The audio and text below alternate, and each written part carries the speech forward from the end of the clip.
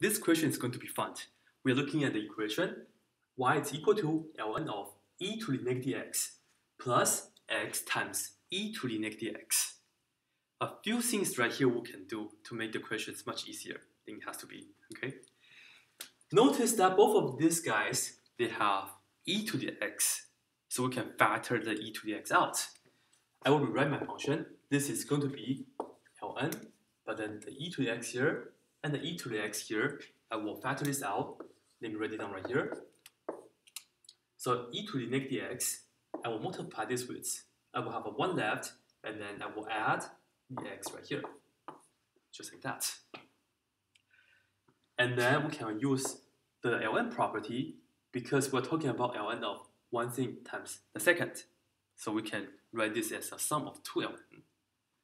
The first one will be ln of e to the negative x, close the parentheses, and then you are going to add, because here we are multiplying, it becomes adding, the second ln of 1 plus x, just like that.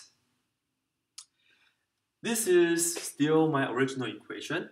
I didn't do anything but just use the log property. We didn't do anything with the derivative yet.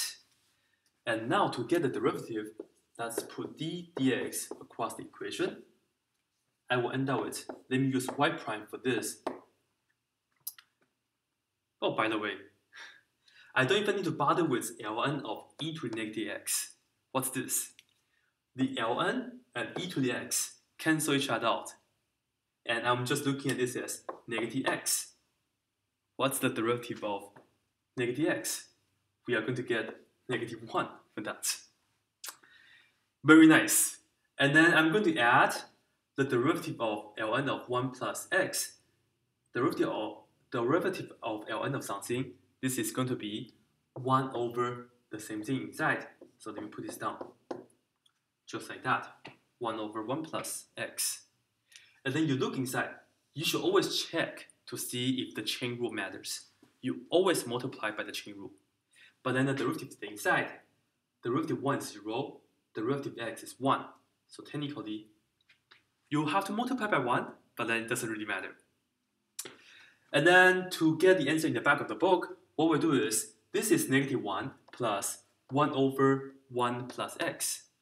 What we need to do is, put this as 1 plus x, and I'll do that on top as well.